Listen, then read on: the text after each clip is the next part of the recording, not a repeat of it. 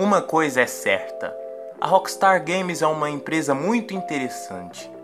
E ela produziu vários jogos inesquecíveis, porém existem aqueles jogos desconhecidos que nunca foram lançados.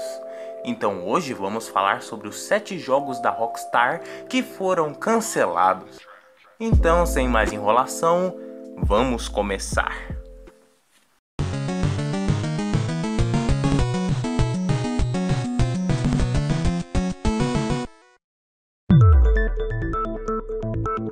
Este de longe é um dos games mais comentados da Rockstar quando se trata de jogos que nunca viram a luz do dia.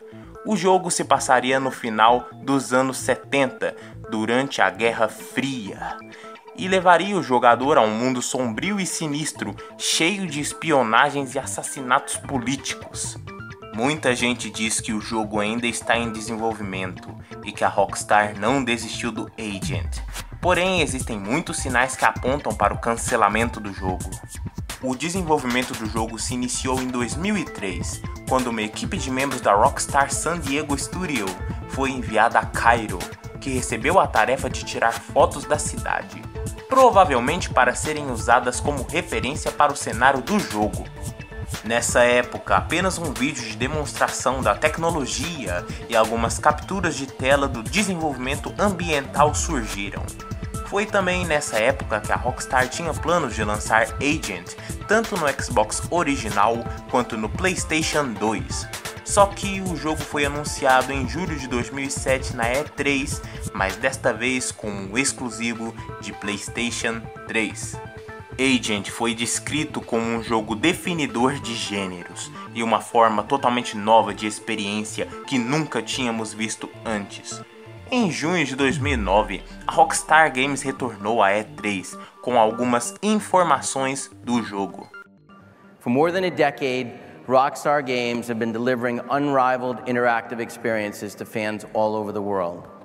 Grand Theft Auto, Bully, Midnight Club, and Manhunt all began on PlayStation. Today, we'd like to announce a new property coming from Rockstar North. It's called Agent and it will be exclusive to PlayStation 3.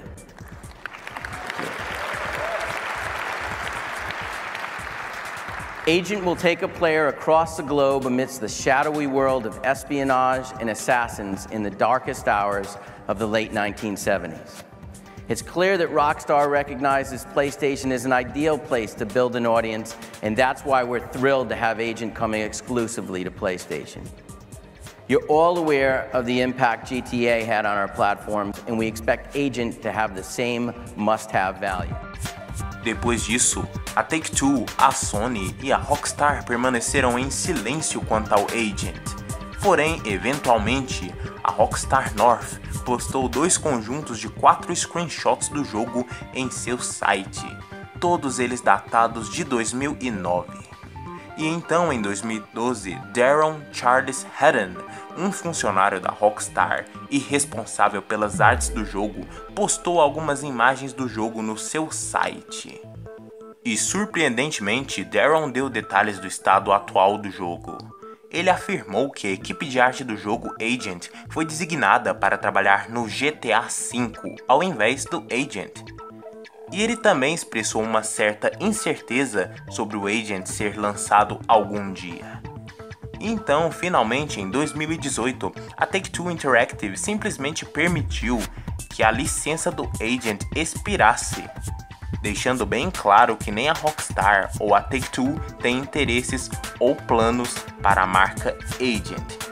E mesmo sabendo que o jogo ainda está listado no site oficial da Rockstar, é bem provável que o Agent não será lançado.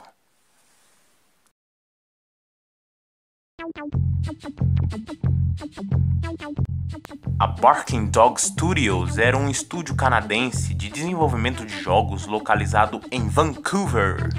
Depois de fazer alguns contratos aqui e ali, e com alguns títulos de sucesso moderado, a Barking Dog Studios foi comprada pela Take-Two Interactive e então renomeada para Rockstar Vancouver.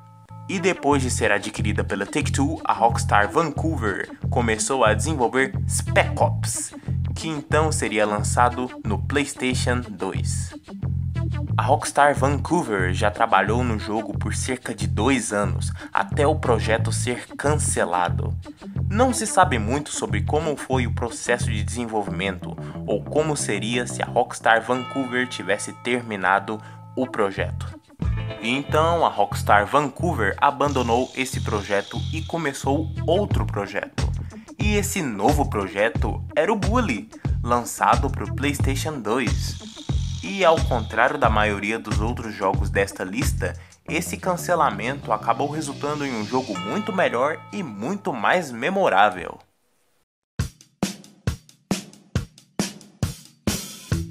Após o lançamento do jogo The Warriors, a Rockstar Toronto começou o desenvolvimento de um sucessor espiritual intitulado de We Are the Mods. O desenvolvimento do jogo começou em 2006 e como a maioria dos jogos da Rockstar da época, ele originalmente iria sair para o PlayStation 2 e para o Xbox original. Mas aí a Rockstar Toronto decidiu desenvolver o jogo para o Xbox 360. Embora o jogo fosse baseado em uma premissa semelhante ao The Warriors, parece que a Rockstar tinha planos de criar o seu próprio universo, baseado em gangues da vida real dos anos 60. Esse jogo se inspirou e muito nos grandes mods e na rivalidade deles com os roqueiros. Os mods e os roqueiros foram duas gangues de jovens britânicos que entraram em conflito em meados de 1960 até 1970. A cobertura da mídia sobre o mods e os roqueiros lutando em 1964 gerou um pânico moral sobre a juventude britânica e os dois grupos foram amplamente vistos como criadores de problemas violentos e indisciplinados.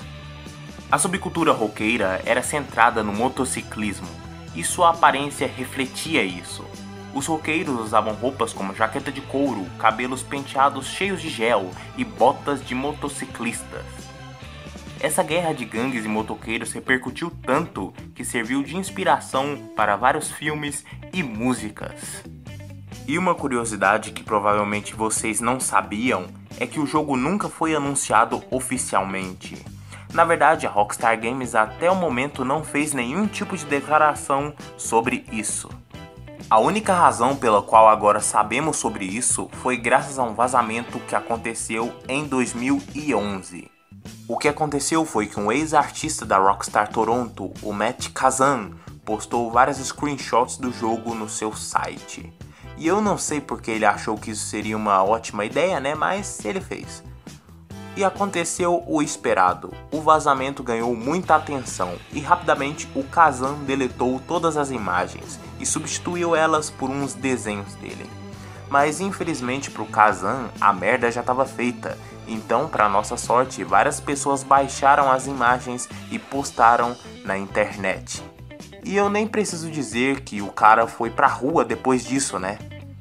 Enfim, o Kazan também havia postado algumas informações do jogo antes dele deletar tudo. Ele diz: abre aspas. O projeto começou como uma continuação espiritual do jogo de PS2 The Warriors, mas no meio do ciclo de desenvolvimento, a Rockstar New York nos pediu para trocar os mods do desenvolvimento de sexta geração, assim mudando do PlayStation 2 para o Xbox 360 como a principal plataforma de desenvolvimento. Muito do conteúdo aqui reflete essa mudança, com o mod sendo o primeiro projeto de sétima geração em que a equipe trabalhou. Foi um aprendizado para todos os envolvidos. O jogo era semelhante em design e estilo a The Warriors, mas ambientado na Inglaterra dos anos 60, no auge da era mods versus rockers.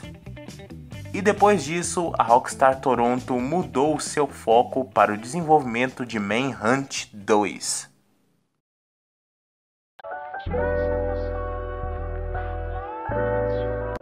Após o lançamento de GTA 2, a Take-Two Interactive revelou que a DMA Design estava fazendo duas parcelas na série GTA, o GTA 3D, que eventualmente se tornou o GTA 3 e o GTA Crime World.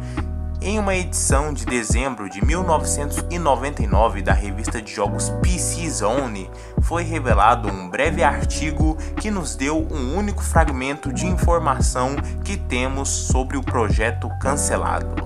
Ela diz, abre aspas, Tendo adquirido a DMA Design, a Take-Two tem grandes planos para o desenvolvedor, com ambições de estender a série GTA com mais de dois títulos. O GTA 3D será o próximo passo, estabelecendo o crime em cidades 3D, com jogadores capazes de andar livremente e pegar vários veículos em várias cidades. GTA Online Crime World é uma questão diferente com serviços mundiais que permitem que você dirija com e contra jogadores em cidades locais. Resta saber se isso significa que apenas jogadores dos Estados Unidos poderão dirigir em cidades dos Estados Unidos. E ainda não sabemos se o Crime World será 3D ou não, porém o 2D parece mais viável vamos mantê-los informados sobre a data de lançamento de ambos os jogos. O GTA 3 foi criado inicialmente para ter um modo multiplayer online, portanto é possível que o GTA Online Crime World e o GTA 3D tenham se tornado um só durante o desenvolvimento. Porém, o modo multiplayer online foi completamente descartado.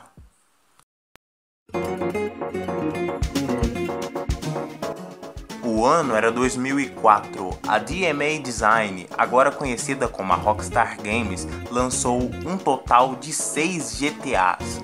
O GTA San Andreas já estava em desenvolvimento e com um lançamento previsto para 9 meses. Então, em janeiro de 2004, muitos sites de notícias de jogos reportaram que a Take-Two Interactive havia registrado um total de 10 jogos do GTA. Entre esses jogos estava até mesmo o GTA V. Então, neste ponto, a Rockstar estava apostando no crescimento contínuo e no sucesso da franquia.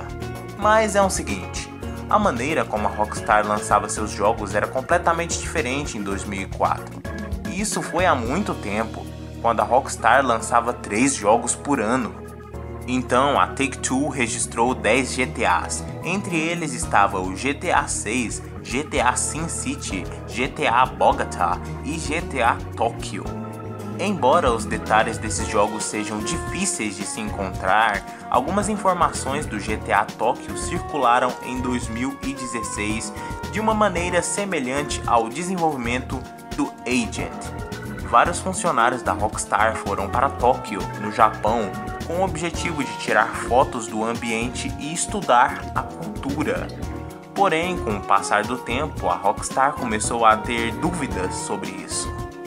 É o seguinte, a verdade é que o GTA sempre foi uma sátira da cultura americana, e criar uma sequência que se passa no Japão iria quebrar essa tradição. E por causa disso, GTA Tóquio foi cancelado. E o mesmo vale para o GTA Bogota e para o GTA Sin City. Então, galera, esse foi os 7 jogos cancelados da Rockstar. Eu espero que tenha curtido, obrigado por me ver até aqui e até o próximo vídeo.